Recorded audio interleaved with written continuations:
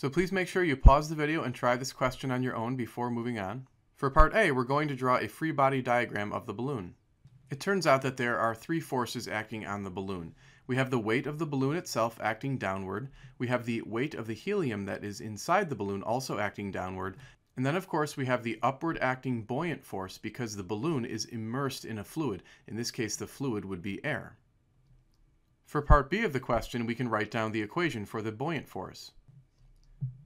The buoyant force is equal to the density of the surrounding fluid times g times the volume of the submerged portion of the object. In some cases, the object is only partially submerged in a fluid. For example, if you had a ball floating at the surface of a body of water. In this case, however, the volume submerged will be the entire volume of the balloon because the balloon is completely submerged in air. We really can't even draw a line to represent air because it's just everywhere. So hopefully it's clear that the entire balloon in this particular problem is completely submerged in the surrounding fluid, which happens to be air. So we're going to adjust the volume submerged to call it the volume of the entire balloon. And to do that, we'll just call it VB.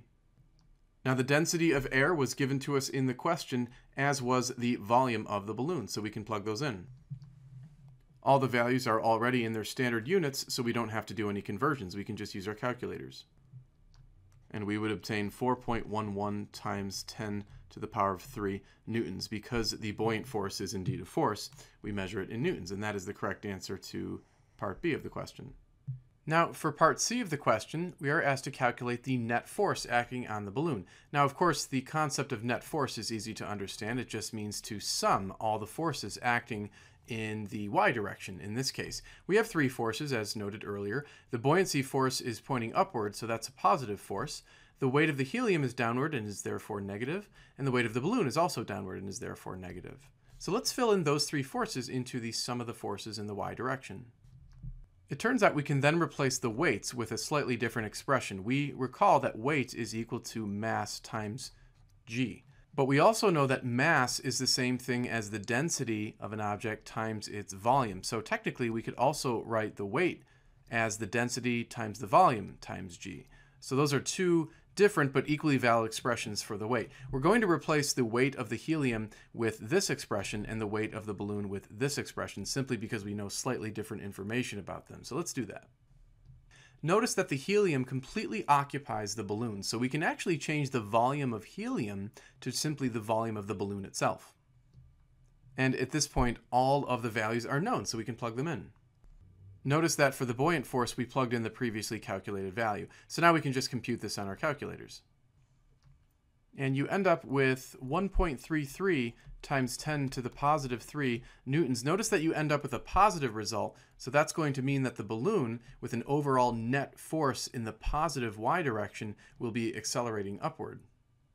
Now in part D, it looks like there will be an additional mass that's being added to the balloon so that the balloon ends up in equilibrium. Because of the additional mass, we're going to have an additional gravitational force acting downward. So let's add that to the diagram. We've colored it in blue so it stands out, and that gravitational force would just be m times g. So now we can go back to the sum of the forces in the y direction.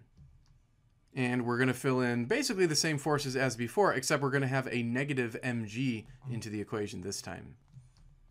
Notice that we've enclosed in parentheses the buoyant force, the weight of the helium, and the weight of the balloon because we have already calculated those three forces added together in part C of the question.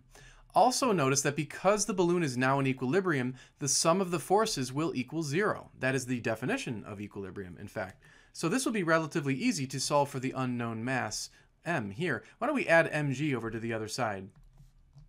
And then we can divide both sides of the equation by g, and that way we're going to isolate the unknown mass. The value in parentheses, which we calculated earlier, can be plugged in, and then so can the value of g. And then when we simplify that, we get approximately 136 kilograms. So that would be the additional mass that we can add to the balloon so that the balloon would then be in equilibrium.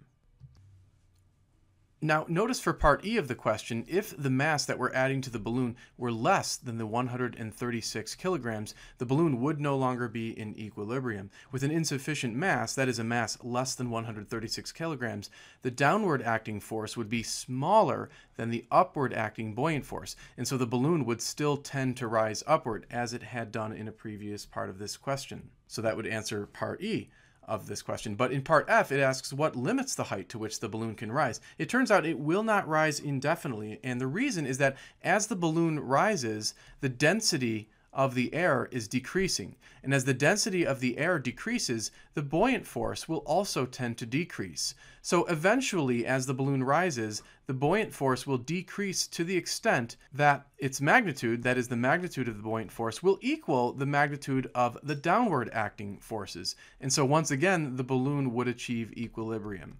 So, in summary, it will not rise indefinitely. It will reach a certain height that will put it back into equilibrium. As always, thanks for taking the time to watch this video. If you liked it, please subscribe and stay tuned for additional videos. You can also send in your own question to the email address listed on the screen.